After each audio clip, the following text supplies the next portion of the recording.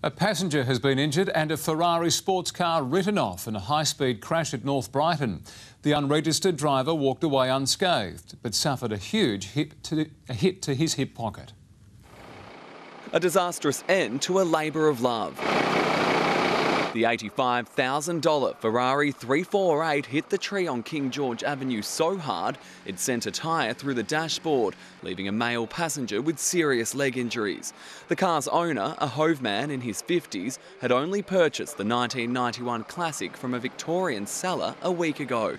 It was yet to be registered. When you're buying a vehicle like that, you know it's going to be a fast vehicle. The car's previous owner spent $80,000 restoring the vehicle to its original glory. When news the crash crossed the border, the man took to the internet saying, You've got to be kidding me. Police are still investigating the cause of the crash but say it's likely the driver will be reported. The Motor Accident Commission urging motorists to take extra care while driving high-powered vehicles. I'm sure it's a temptation, and uh, we can't uh, we can't allow that to take over. We have to comply with the road rules. We have to stick to the speed limits, and then there won't be any issues. The passenger remains in a stable condition at Flinders Medical Centre. Rhett Burney, Nine News.